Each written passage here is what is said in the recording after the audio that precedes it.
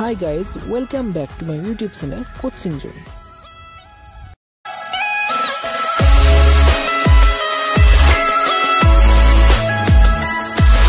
ছাত্ৰ-ছাত্ৰীসকল আমি পূৰ্বেই ঘোষণা কৰা চিডুৱেল মৰ্বে আজি আমাৰ ক্লাছ এইটৰ জেনেৰেল ছায়েন্সৰ ছেকেণ্ড ইউনিট টেষ্টটো অনুষ্ঠিত কৰা হৈছে আৰু এই ইউনিট টেষ্টত আমাৰ টোটেল মাৰ্ক থাকিব টুৱেণ্টি ফাইভ আৰু সময় থাকিব এক ঘণ্টা আৰু লগতে এই যিখন আমাৰ ইউনিট টেষ্টৰ পেপাৰ প্ৰস্তুত কৰি হৈছে এই পেপাৰখনত আমাৰ পাঁচ নম্বৰ লেচনৰ পৰা আঠ নম্বৰ লেচনলৈ কুৱেশ্যনখিনি কটা হৈছে। গতিকে লকডাউনৰ সময়ত ছাত্ৰ ছাত্ৰীসকলে ঘৰতে নিজকে এনেকুৱা ধৰণে মূল্যায়ন কৰিব পাৰিব আৰু তেওঁলোকৰ যিটো পঢ়া সেইটো কিমান আগবাঢ়িছে সেইটো বুজি পাব আমি প্ৰথমতে ইয়াত পেপাৰখন ডিছকাছ কৰি ল'ম তাৰপিছত আমি ইয়াত আলোচনা কৰিম যে কেনেকুৱা ধৰণে তেওঁলোকৰ এনচাৰখিনি আমালৈ পঠাই দিব পাৰিব। গতিকে প্ৰথমতে ইয়াত পেপাৰখনৰ কুৱেশ্যনখিনি মাজলৈ আহিছোঁ।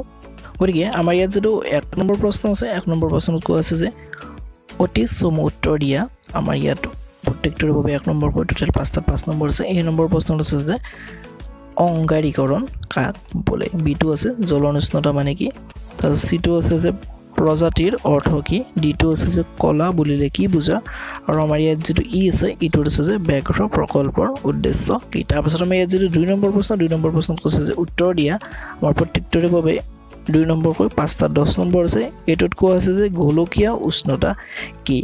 তাৰপাছত আমাৰ যিটো বি বিটোত কোৱা আছে যে দুবিধ পেট্ৰলিয়ামৰ উপাদান আৰু তাৰ ব্যৱহাৰ লিখা যিটো চি চিটোত কোৱা হৈছে যে অসমৰ দুখন ৰাষ্ট্ৰীয় উদ্যানৰ নাম লিখা। যিটো ডি ডিটোত কোৱা আছে যে পুনৰ বৰ্ণনীকৰণ মানে কি? আৰু যিটো ই নম্বৰ প্ৰশ্ন তাত কোৱা আছে যে উদ্ভিদ কোষ আৰু প্ৰাণী কোষৰ মাজৰ পাৰ্থক্য লিখা। তাৰপাছত আমাৰ যিটো ইয়াত তিনি নম্বৰ প্ৰশ্ন তিনি নম্বৰ প্ৰশ্নত কৈ আছে যে চমু টকা লিখা।